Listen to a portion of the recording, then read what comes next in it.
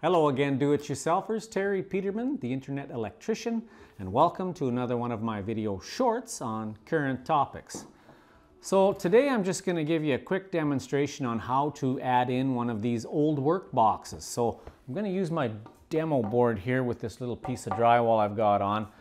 And I'm going to show you three different types of old work boxes and what those are is something that you want to cut in a, an outlet box after the drywall is installed and you're not sure where the studs are and you can't really get into the stud to screw the box on. So what you can do is clamp a, an old work box or a rework box into that drywall. So I'm going to show you three different types today.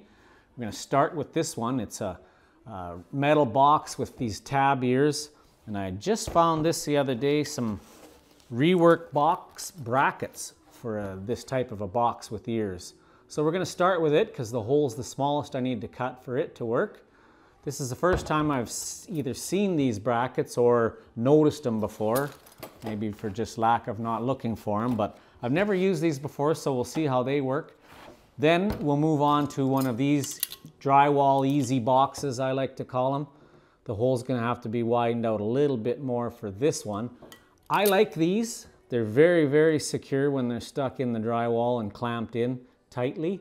What I don't like is they're fairly small inside so you don't have a lot of room for wires. So probably a two wire cable in and a two wire cable out is plenty for a box of this size. And then the third type is my favorite. All I have for you to show is a plastic one. This is from Carlon and this is a, a low voltage device bracket so there's no box on it but this would be exactly the same if it was a full device box that was all enclosed. Same principle these little tabs come out and clamp into the drywall. So we'll show you that, just uh, the way to show you the plastic rework boxes. But first, let's get started with device and device box and example number one. All right, so we'll start with this one with the ears. First thing you want to do is make sure it's level, of course, and then mark out the opening you need to cut. So somewhere between the studs, you can use a stud finder to find that opening. Of course, here on my demo board, not an issue. So there it's level. Using a pencil, I just trace out the opening I need.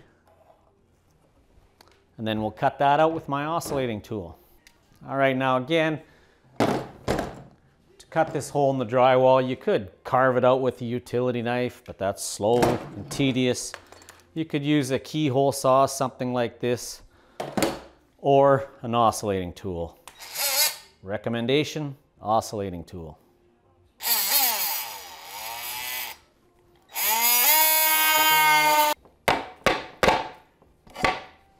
Once you've got your hole, you can just test fit. You're gonna have to do a little fine tuning.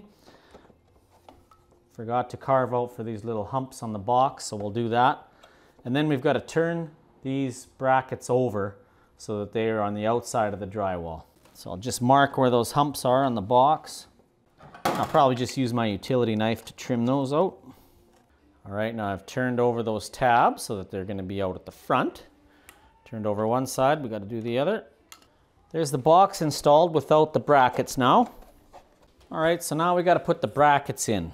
Okay, so here's how these go in. I had to look carefully at the diagram to see how that works. So what you want to do is work these into your hole that you've cut on each side of the box.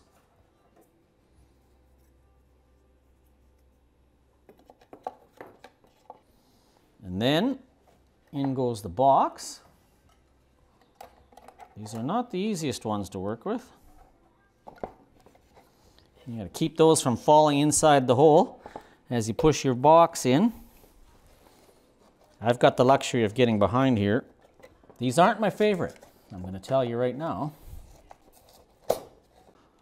Okay, so very difficult to push that box in and not lose your brackets, but you can see there on the outside of the box, grabbing onto the drywall in behind here. Now you just push your box in tight and bend these around back inside the box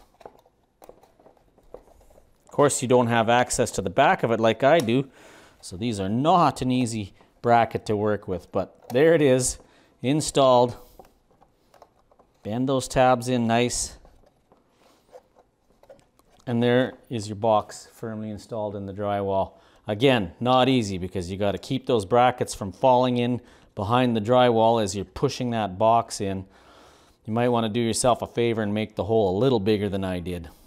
So there's a close-up of that box. You can see the tabs bent inside. Then the outside of them are running up and down on either side of the drywall here. And the tabs keep the box from pulling right inside the drywall hole. These are a rework box bracket from Iberville, the 820D RP. Of course, you have to have a set of two. So I've removed that one. And the box I use there, just for reference, is the CI 1104K from Iberville. And any box with the tabs in the ears like that and no, no uh, stud mounting tabs on the outside of the box is the kind of box you'll need to use those brackets. I've never used those before today. Probably not, never will. There's so much better options. Much better options out there. This is the Iberville BC777-LRB. And this is the kind I like. Like I mentioned earlier, though, not a lot of room for wires in there. But with these now, we need just a little bit wider hole, a little longer hole, because you want to have the drywall opening to be just above the screws, just below, I should say, and above the screws here on the top and bottom, and then wide enough to fit the box. Not a lot sticking out on this one to get in the way while you're shoving it in there. Um, little tabs here, but nothing too much to worry about.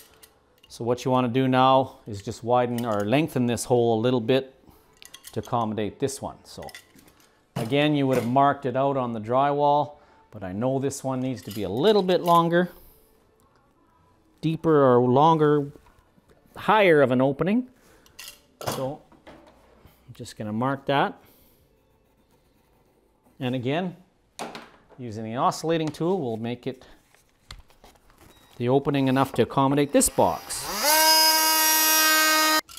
All right, with these ones, first thing you need to do now, before you install it in that hole, is you have to back out these clamp screws as far as you can, because that gives you the most room. I'll show you what that does, but back them out just till your screw is still grabbing on, but you don't back it out too far that you lose it. Same here, the other side. Back it out as far as you dare. Now these four number six Robertson screws, they are backed out pretty much as far as they can go as well for the installation. Kick those in and then this box just goes in the hole. Of course, first you'd open your knockout and put your wire in. So if your wire was fished in out of this hole, it would go in one of these knockouts. Then you work the box in to the hole. First thing you do is tighten these screws. Again, the number 8 Robertson. 8 driver. Red Robertson we call it in the trade. Now what happens there is when you bring those clamps down, they, they act as a cable clamp. But as well, they push the box top and bottom down horizontal so that now these are sticking straight out and you just take a number six Robertson and tighten all four of those in until it clamps the box into place. First you push it in nice and flush. I like to use my drill for this, but we'll use a screwdriver. All right, just so I don't over tighten them for the demonstration.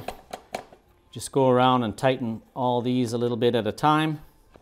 Because as you can see when you pull one tight, it just pulls that clamp in against the drywall. So if you don't go a little bit on each screw, you get too far ahead of yourself. And just go around, snug them all up. Now these boxes are pretty much the best as far as secure in my mind for getting a nice secure device box install clamped into the drywall. So for a receptacle, something that you're going to be pulling a plug in and out of a lot, these are very nice and solid. They're not going anywhere. So that's the BC777 from Iberville. All right, and the last one I'm going to show you is the plastic line of boxes. Now this one is, like I mentioned, just a low voltage device ring, but if this was all enclosed in as a device box, same principle. You see these tabs, once you shove that into the opening and you start turning in these tabs, which are Phillips screws, these little wings flip down and flip up and clamp it into the hole. So we had to mark this one now, make it a little bit wider to accommodate it. Just got to do a little fine tuning with the utility knife. All right, so make sure the tabs are in. Like I said, if it was a device box, they would just go up against the sides, top and bottom of the box if it was a fully enclosed device box. Put that into the hole, into the opening. Snap it in tight. And then with the Phillips driver, for this one I am going to use my screwdriver, my cordless drill. Now of course you won't have the luxury of reaching in behind your drywall, but I've got it to support this piece because it's just for demonstration purposes and if I don't I'll break it. So there you go, the little wings are clamped onto the back of the drywall and that box, that low voltage ring is firmly in place as would be a full plastic device box. So that concludes this video short, short on just installing some old work boxes into a piece of drywall. Three different types to use. Like I said, the first one, I do not like using that box with ears and those brackets.